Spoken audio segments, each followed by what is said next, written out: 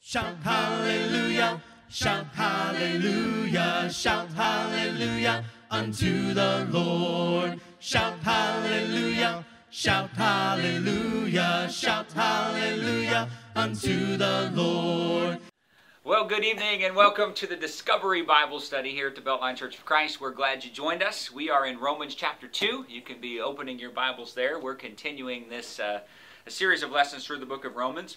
If you're uh, coming to us in person, I want you to know starting today, we are also beginning a study on Romans in person. So whether you're here online or coming to the building on Wednesdays, uh, we're trying to study the same things. And there's so much good stuff uh, right here for us in this great, great book. I think one of the elders said a study of Romans should be required for every Christian. And I think that's probably right. Uh, but we're going to dive into the first 11 verses of Romans chapter 2. And so grab your Bibles, follow along with Trae as he reads from the New Living Translation, Romans 2 1 through 11. All right. If you'll remember, the end of chapter 1 is talking about lots of uh, things that, that people have fallen into. And so this is almost in response to the first part of chapter 2. In the original, there's no chapter 2s or verses or anything. And so right. we're just continuing this thought. you may think you can condemn such people, but you're just as bad. And you have no excuse. When you say they are wicked and should be punished, you are condemning yourself. For you who judge others do these very same things. And we know that God, in His justice, will punish anyone who does such things. Since you judge others for doing these things, why do you think you can avoid God's judgment when you do the same things? Don't you see how wonderfully kind, tolerant, and patient God is with you? Does this mean nothing to you? Can't you see that his kindness is intended to turn you from your sin? But because you're stubborn and refuse to turn from your sin, you are storing up terrible punishment for yourself.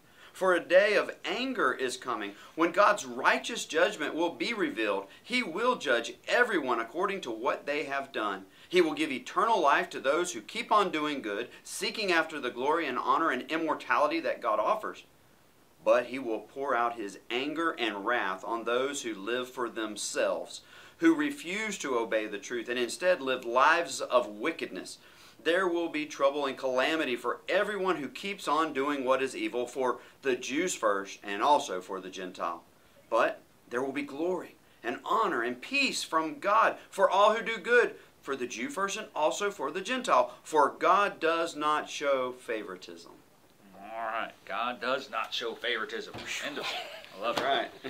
uh, good stuff. I, I, just want to reiterate what Trae said just a second ago. Really, chapter 2 is a continuation of what we had in chapter 1. He finishes by talking about all kinds of unrighteousness and evil and covetousness and malice and this whole list. Uh, we go back to talking about homosexuality that we mentioned last week and so many other sins that are, that are all connected. And then he says, okay, you are without excuse because you're doing the same things.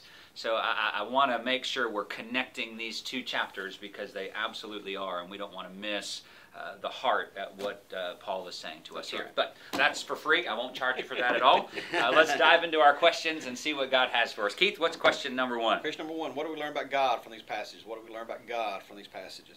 Uh, I feel like I say I cheat every time, but uh, and I'm going to kind of explain my thought pattern with this, and that kind of scares me whenever I say that out loud.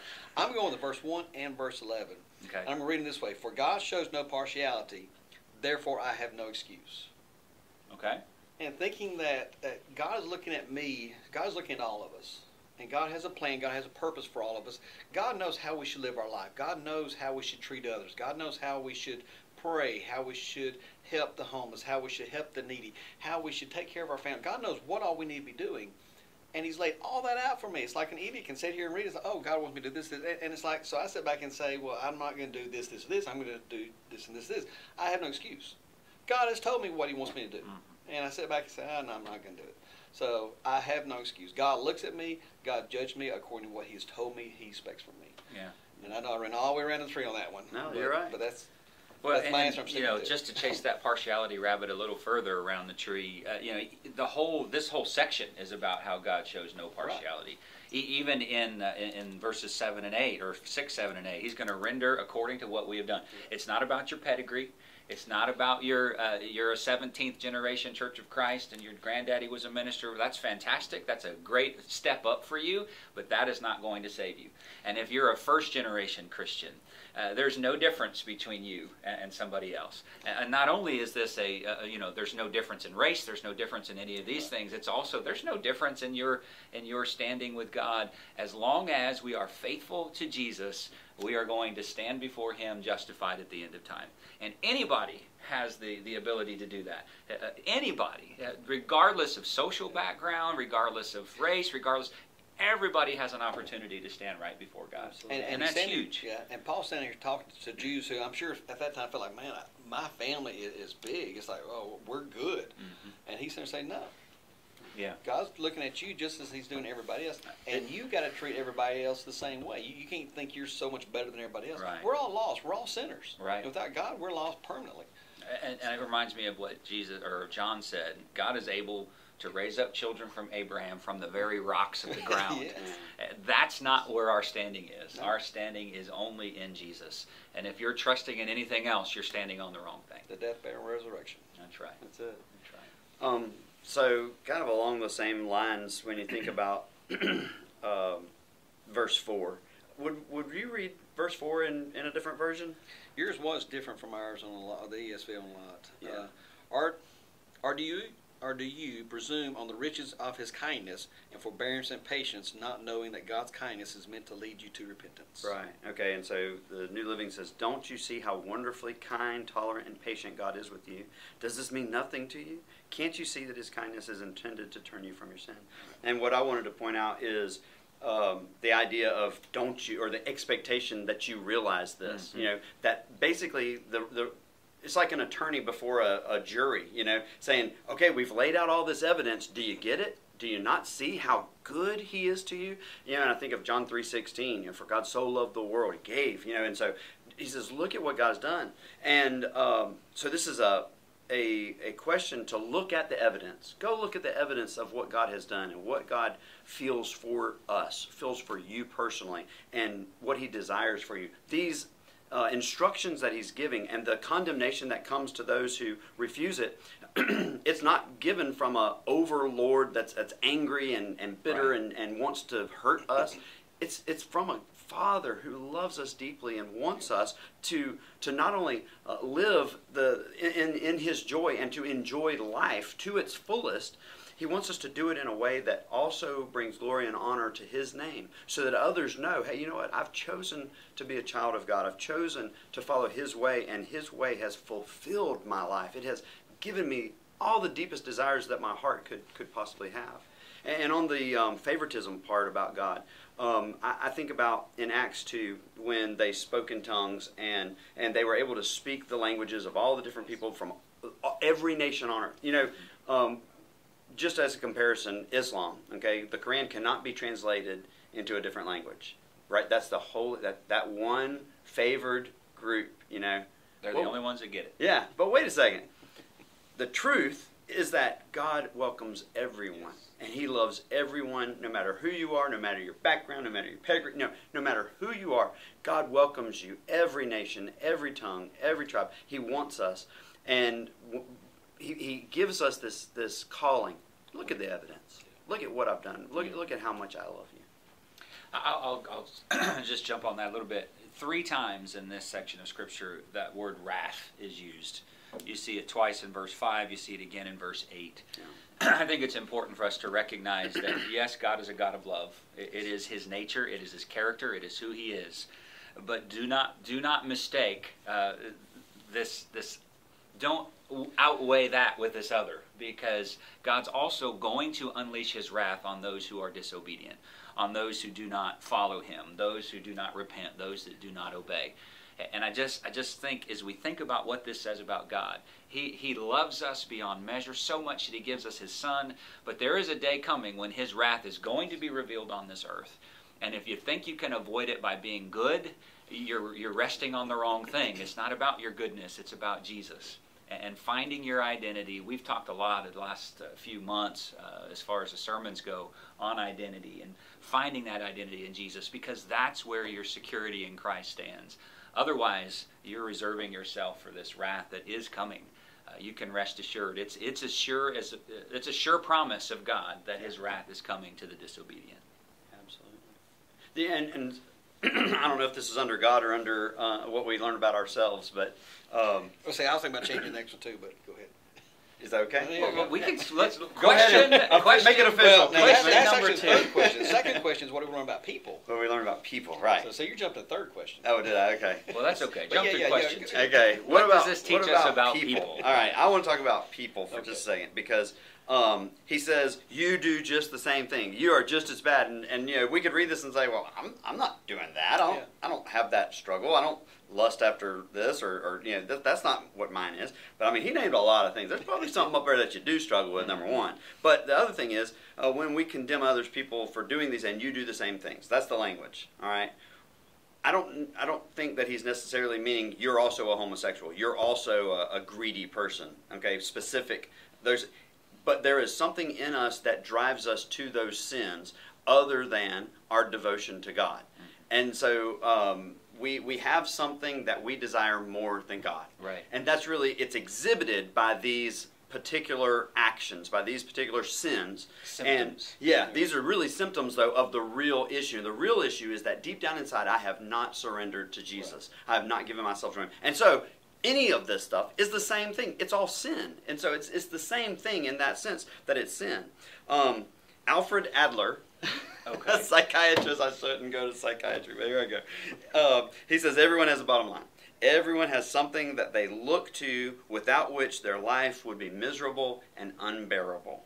Okay? And he says, he, he gives four motivational drives. And, and I think that these probably aren't the only four things. I, I think there probably are more things, and maybe even the, you could change the wording of, of how he characterizes these. But he said power, approval, comfort, control power, approval, comfort, control. Which one of those four are you seeking which drive you to these to a sin? To, to whatever sin that is. Right. I mean, we know what our favorite sins are. The sins that we struggle shouldn't call it favorite, Yeah, I guess, but, say, yeah, but the sin that we really struggle with right now. Well, what is it motivated by?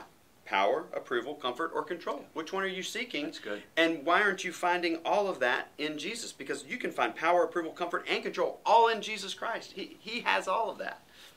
So there's mine. I love it. That's, that's Mini sermon. that's hey, preach on, brother. That's really good stuff right there. I, I like that. Keith, what do you, what do you think? Mine is is is yes, everything you just said. Uh, we got to work on a balance. We got God's grace, and then we got God's wrath. We understand pass fail. We understand if we're going to school and we don't do our homework, we don't do our classwork, we're going to fail. We understand if we don't go to work, we're going to get fired. We understand uh, playing football, if you don't score a touchdown, you're going to lose. We understand all these parameters, but then when we come to the gospel, it's like, oh, God's grace, God's love, and God's wrath. And we got to come up with a good balance. Um, I don't know the names of the kids. Let me preface that. But and sometimes you don't want to know an answer when you ask it. But I asked the kids the other day, if, if you died right now, would you go to heaven or hell? And and it, it really bothered me because over half of them wrote down hell, just right off, just boom, that's it. And a few of them wrote down, it's like I'm not sure. A- And I guess as a youth minister, that really bothers me because it's like, man, what are we teaching the kids? Um, because some of them, it's like, well, God loves me, but yet I stumbled last week, or, or, or I do have sin, or I'm not worthy enough. And I, then I, I look at the Bible, and it's like we just got to make sure we understand that God loves me. Yes, God's going to be a wrathful, a vengeful God, but as long as I'm walking in the light, there's a middle. And we got to understand if you're in the middle, you're okay. But we got to make sure we're not this way, not this way. We got to make sure we're right there. And, and we do that by studying God's word, by living according to God's word, by being the child that God wants us to be. And uh, I don't know if I actually answered the question right, but I guess that's that's where I'm thinking because I don't want us to think that we're saved by our, our works. Because we're not. We're No. not. Yeah. But our works show who we follow. That's and if. I'm not doing good works, I'm not following God. Right. And some of these teenagers say, well, how do I know if I'm saved? Well, are, are you living according to the world standards? Are you living according to God's standards? Mm-hmm. What basis are you living your life by? And um, I, f- I feel like I've run around the tree twice on that one, but um, I, I- I just got, I just want to make sure that, that we understand that, that God loves us. God gave His Son for us. God, God has given us. God stacked the deck in our favor. We just got to make sure we're willing to sit down at His table and play according to His rules. Well, in 1 John 5.13 says, I can know I have eternal life. yes. I can know because I have obeyed His Son. I have done the things He's asked me to do as far as getting into Christ, and now I'm I'm proving my faith by those good works. You're showing the world your testimony about how you're living your life. That's right. But I'm not saved by those good works. I'm Right. saved by Jesus Christ and my surrender, as Trae mentioned earlier, to Him. Yeah. So uh, that's that's huge. It, it's it's a big deal. And if somebody asks me, how do I know that I'm right with God? How do I know I'm saved? I go to Galatians 5 uh, in the fruit of the Spirit. Yes. The Holy Spirit produces this kind of fruit in our lives love, joy, peace, patience, kindness, goodness, faithfulness, gentleness, and self control. But then you back up from there, and it lists the ones of the flesh, Absolutely. of the world. Right. So it's like, so which one am I basing my life on? That's it. Right. That's a, that's the you know how do I stay saved? Well, am I producing this? I mean, Yes. is this What being fruit are you produced? Yeah. producing? Do you That's see right. this in your life? And if you don't, To change. Start. Right. Well, and that, that's exactly what Paul is saying. Don't you get it? Yeah. Look at what God's done. It's supposed to lead you to repentance. Yes. When you see what is available to you, when you see how good He is in sending His Son, when you think about the inheritance that He has for us, Right. when you think about the gift of the Spirit that He gives everyone who's obedient to Him, those kind acts are not just because He's a good God. They are, but it's to lead us to something, and that is to repentance. Uh, I was listening to a sermon on the way to, to work this morning and was talking about Cornelius. And one of the things that struck me is Cornelius is this really good guy, right? Right. He, he has everything, right? He, he- he's, he's rich. He's, the, he's he, heaven above looks at Cornelius and says, there's a good guy. yeah, I want that one. Uh, he's a good one. And then what does he do? He says, All right, he's so good, now let's teach him the gospel so that he can be saved. Yeah. Right. Right? Yes. So it's not about goodness. Yeah. It- it- it's not about that. It's about God's goodness and saying, I want that one. Yeah. And then Him responding to that, which is so huge. God's kindness is what leads us to repentance and ultimately to salvation. And, and I just think that is such a huge point. And, and there's so many of them. Lydia's the same thing. She's this good person, but she needs Jesus. You Yeah. know, and, and so many Apollos, they they're good. They need Jesus. They're, those are the poster children for, Yes. hey, be just be good and God will be enough. But God says, no, it's not enough. Oh. I want my goodness and what I'm going to give you to lead you to something else, and that's eternal life through repentance in Jesus Christ. Look, look at Paul. I love the thought of Paul. He had that letter saying he could kill Christians, and I wonder when. I I wonder if he carried that letter with him the rest of his life, or if he it up. I I wonder what happened letter because I mean he was living his life thinking I'm doing the best I can, and then all of a sudden it's like, whoa, wait a minute, I'm not. Mm. And he took a whole 180 degree turn and started going the other way. Let me somebody s- talked about turning around, didn't they? the other day? Yeah, So- yeah. Turn around. There's one See, more I verse. listen. I'm glad. I'm glad. Verse six. He will render to each one according to his works. Yeah. That's huge. Uh, so, so what are your works showing? Uh, what are your works showing? And I hope it's more. And I'm not downplaying the importance of meeting together on Sunday and Wednesday. And uh, we should do those things. Those should be givens. But what are your works showing beyond attending a church service? Uh, because that's how uh, this whole thing is going to come together. I think that's big. All right, question number three. This is the I will, right? Yes. How will I put this into practice? How will I put this into practice? Go with God, brother. yeah, I won't go for. Um, I just want to make sure that I have no excuses. I, I'm going all back to the first one. Um, I want to make sure I'm a happy person. I, I've tried to. My grandfather used to always whistle, and and not that I'm a great whistler, but to me, I want to show the world that that I'm happy because I know I'm saved. Do I mess up? Oh yes.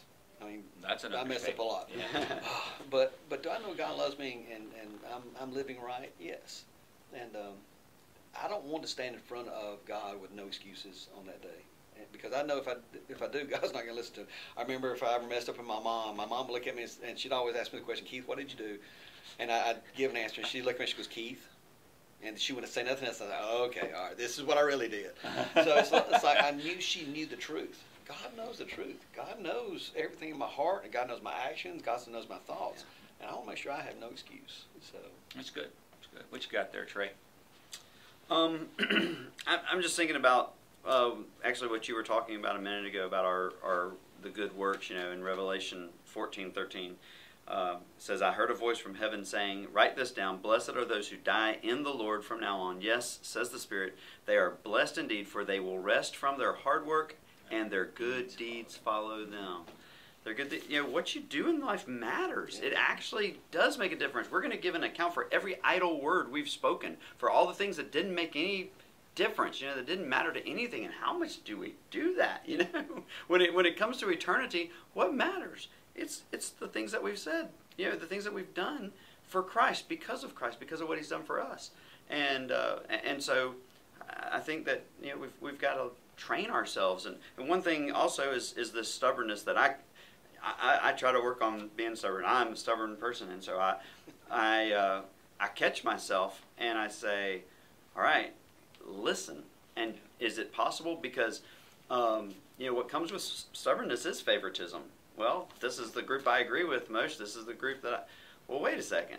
Um, I need to be more open, and I need to to, to get favoritism, um, you know, uh, bias out out of my thinking because that's not who God is, right. and and I want to become more like Him, and I want His Spirit to sanctify me into the person that He's called me to be. And so, uh, every place I see that in my life, I need to to be careful. Now, of course, I want to be stubborn about the truth. You know, right. I want to be stubborn right. about those, but and and so it it takes evaluation, it takes discernment, and it takes you know concentrating, and I think above all, it takes being in the Word of God. Faith comes by hearing the Word of God.